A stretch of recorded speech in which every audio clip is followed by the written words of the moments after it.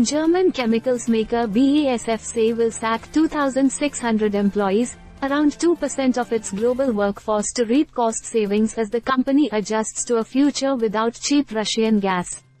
The chemical giant will also close a number of factories, including two ammonia plants and related fertilizer facilities, according to Bloomberg News. The closing down of these factories will result in 700 job cuts at its main Ludwigshafen plant in Germany, the company said, adding that it is also terminating a share buyback program ahead of time due to the deterioration in the global economy. In an official statement, BASF Chief Executive Officer Martin Brudermüller informed that Europe's competitiveness is increasingly suffering from overregulation, slow in bureaucratic permitting processes.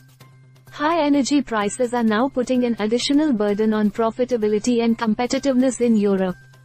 Previously, the company said it is targeting annual cost cuts of 500 million euros as it doesn't expect gas prices to return to pre-war levels.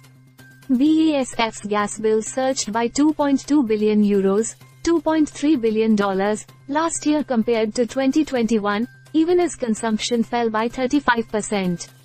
BASF also issued a forecast for 2023, expecting adjusted earnings before interest and taxes of as much as 5.4 billion euros, after earnings declined 12% in 2022 to 6.9 billion euros.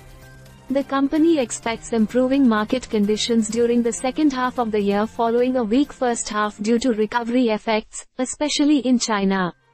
BASF last month unveiled a 7.3 billion euro write-down for 2022 on the value of its Wintershall Dea energy business, which is pulling out of Russia, Reuters reported.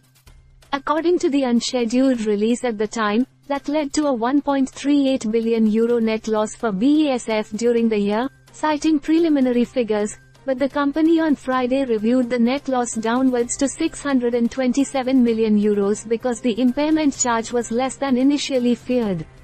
With inputs from agencies, topics layoffs.